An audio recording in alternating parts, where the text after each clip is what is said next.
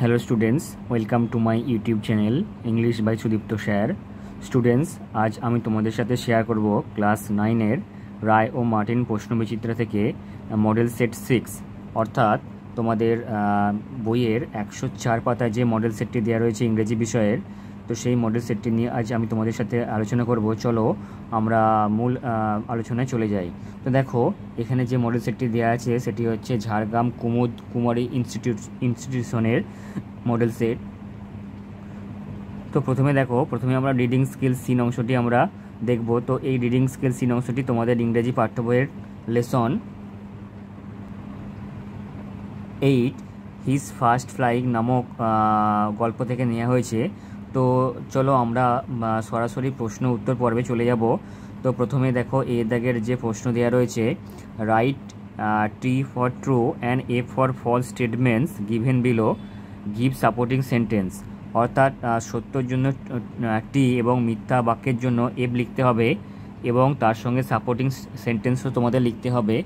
তো দেখো, এখানে দুটি প্রশ্ন দেওয়া রয়েছে। তো প্রথম যে প্রশ্নটি দেওয়া রয়েছে the young seagull was in the company of his brothers and sister the young seagull অর্থাৎ ওই বাচ্চা গাংচিলটি কোম্পানি মানে কি? সঙ্গে ছিল।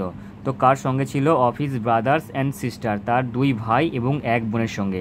তো এই বাক্যটি ফলস হবে এবং সাপোর্টিং সেন্টেন্স হবে he saw his two brothers and sister lying on the plateau সে দেখেছিল তার দুই ভাই এবং বোনকে মালভূমির ওপর শুয়ে থাকতে।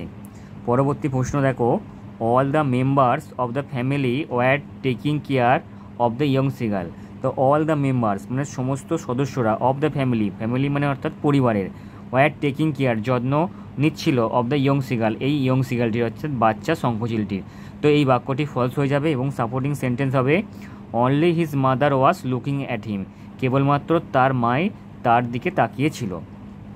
নেক্সট প্রশ্নে আমরা চলে যাব, দেখো, বিয়ের দাগের কমপ্লিট দ্য ফলোইং সেন্টেন্স নিচের বাক্যগুলোকে পূরণ করো with information from the above passage উপরের প্যাসেজ থেকে তথ্য নিয়ে ইনফরমেশন কথাটির অর্থ হলো তথ্য।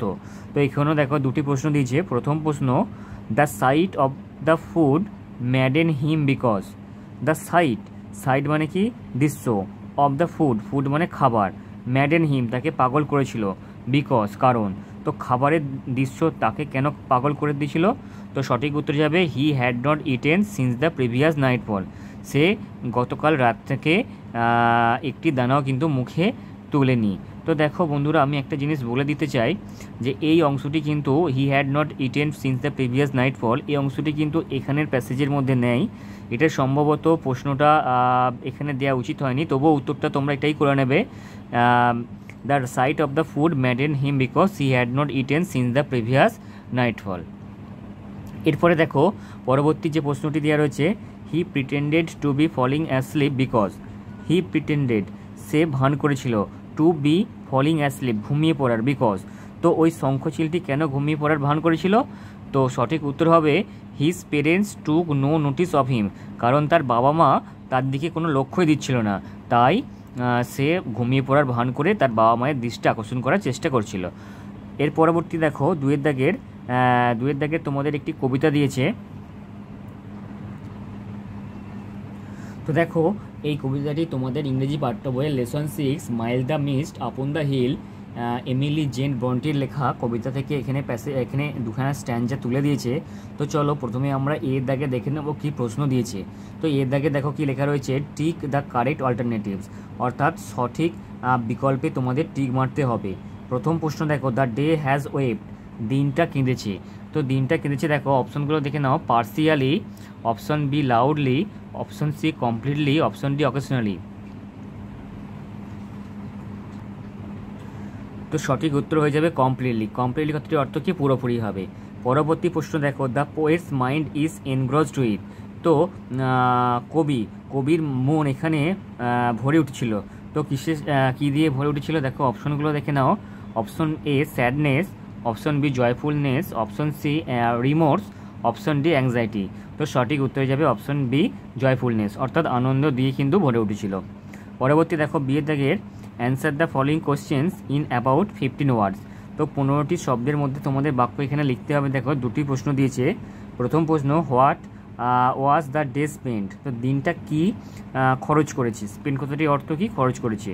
তো দেখো, উত্তর আমি এখানে লিখে দিয়েছি। The day has spend its store of silent sorrow অর্থাৎ দিনটি কাটিয়েছে তার সেই জমা করে রাখা বা সঞ্চিত করে রাখা দুঃখকে।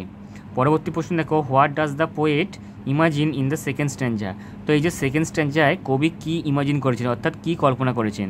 তো উত্তরটি দেখে নাও, the poet imagine herself to be a child. তো কবি নিজেকে একজন বাচ্চা হিসেবে কল্পনা করেছেন। She remembers her father's house. তিনি মনে করেছেন তার বাবার বাড়ি দেয়ার ওল্ড হল ডোর এবং তাদের সেই পুরনো হল ঘরের দরজা। এরপরে দেখো, আমরা রিডিং স্কিল আনসিন প্যাসেজটিতে চলে যাব। তো এখানে তোমাদের একটি আনসিন প্যাসেজ দিয়েছে এবং তারপরে দেখো যে প্রশ্নগুলি দিয়েছে প্রথমে এর দাগের। টিক দ্য কারেক্ট অল্টারনেটিভ সঠিক অল্টারনেটিভে তোমাদের টিক চিহ্ন মারতে হবে। প্রথম প্রশ্ন the name of the villages অর্থাৎ এখানে এই আনসিন প্যাসেজে যে গ্রামটির কথা বলছে, সেই গ্রামটির নাম কি? তো অপশনগুলো দেখে নাও। ক্যালাব্রিয়া কোসেনজা, সেরিসানো সেরিসানো আর নোটো। তো দেখো, এখানে সঠিক অপশন হচ্ছে অপশন সি সেরিসানো। তো এটি এটি আমরা কোথায় পেয়েছি আমরা দেখিয়ে দিচ্ছি।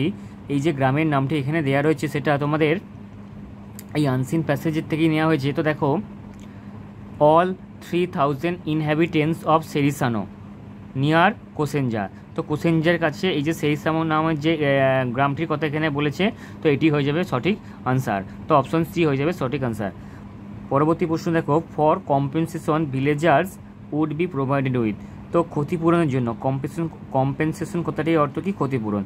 তো ক্ষতিপূরণের জন্য villagers would be provided with তো ভিলেজার্স অর্থাৎ গ্রামবাসীদেরকে দেওয়া প্রোভাইডেড উইথ করা হবে, অর্থাৎ প্রদান করা হবে।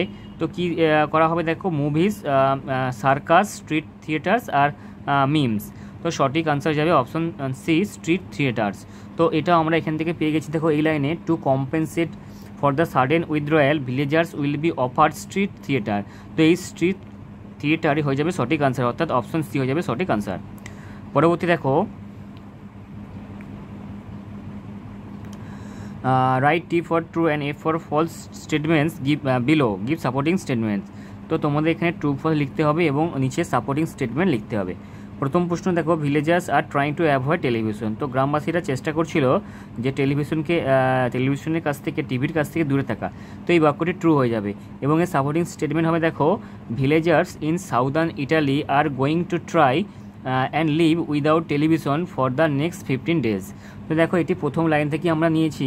Villagers in southern Italy are going to try এখান থেকে একদম ফিফটিন ডেজ পর্যন্ত হয়ে যাবে সঠিক আনসার পরবর্তী দেখো the organisers include a a leading cultural institute তো অর্গানাইজারদের মধ্যে যারা অর্গানাইজ করেছিল, তো তাদের মধ্যে লিডিং একটা কালচারাল ইনস্টিটিউট ছিল, তো এই বাক্যটি ফলস হয়ে যাবে। তো দেখো সাপোর্টিং স্টেটমেন্ট হবে the organisers of the experiment এখান থেকে তোমরা একদম ফাউন্ডেশন পর্যন্ত লিখবে। আমি বলে দিচ্ছি, তোমরা কোথা থেকে অংশটি তুলে নেবে। তো দেখো the organisers of the experiment a joint study by the European research institute and the and the Dante অ্যালিগেরিয়া foundation তো এতখানি তোমরা কিন্তু হচ্ছে যে সাপোর্টিং স্টেটমেন্টটি কিন্তু তুলে নেবে তুলে নেবে।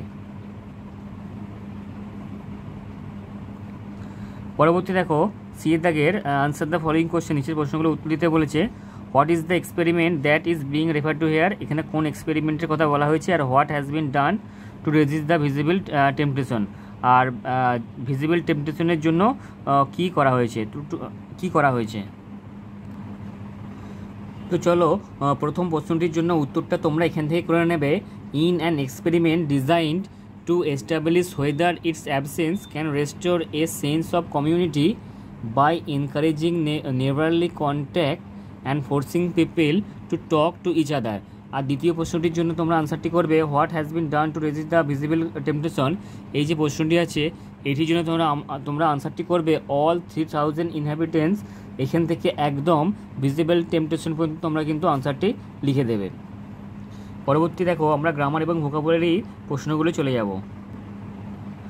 দেখো চারের দাগের যে গ্রামারের প্রশ্নগুলো দেওয়া রয়েছে প্রথম প্রশ্ন বলছে India expected to win the match দেখো, এটা কি করতে বলছে, দেখো চেঞ্জ দ্য ভয়েস দ্বিতীয় প্রশ্ন দেখো it is a horrible night তো এই বাক্যটি করতে বলেছে এক্সক্লামেটরি সেন্টেন্সে তোমাদের এটি লিখতে হবে। তিন নম্বর দেখো being dissatisfied he resign his position তো এটি তোমাদের করতে হবে কম্পাউন্ড সেন্টেন্স আর চার নম্বর দেখো আহান রিজেক্টস মাই ওপিনিয়ন তো এটা তোমাদের ফ্রেজাল ভার্ব দিয়ে কিন্তু রিপ্লেস করতে হবে রিজেক্টস কথাটি। আর পাঁচ নম্বর দেখো the bag is so sole so old that it can not carry a heavy load তো এটা সিম্পল সেন্টেন্সে করতে হবে। আর ছ নম্বর দেখো the time of his arrival is uncertain use করতে হবে এখানে ভার্ব ফর্ম অফ অ্যারাইভাল তো অ্যারাইভাল শব্দটি এখানে ভার্ব ফর্ম ইউজ করে কিন্তু বাক্যটিকে আবার লিখতে হবে। তো চলো আমরা খাতায় এই উত্তরগুলো দেখে নি, দেখে নেব। তো দেখো, প্রথম যেটি ছিল, তার সঠিক উত্তর হয়ে যাবে it was expected to India that they would win the match পরবর্তী দেখো, পরবর্তী প্রশ্নটির উত্তর হবে what a horrible night it is তিন নম্বর দেখো he was dissatisfied so he resign his position চার নম্বর প্রশ্নটি দেখো, চার নম্বর প্রশ্নটির জন্য তোমাদের উত্তর হয়ে যাবে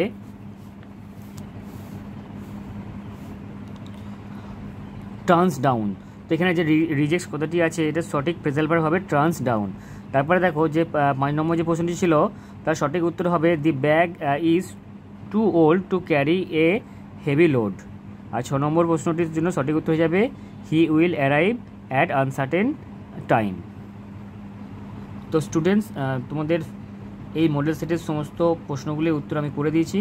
তোমরা যারা এখনই এখনও পূর্ববর্তী মডেল সেটগুলি এখনও দেখোনি, তারা অবশ্যই চ্যানেলে গিয়ে দেখে নেবে। আর তোমরা যারা নতুন এসেছ, আমার এই চ্যানেলে তারা অবশ্যই চ্যানেলটিকে সাবস্ক্রাইব করবে লাইক কমেন্ট করে জানাবে, ভিডিওটি কেমন লাগল। তোমাদের সকলকে অসংখ্য ধন্যবাদ ভিডিওটি দেখার জন্য।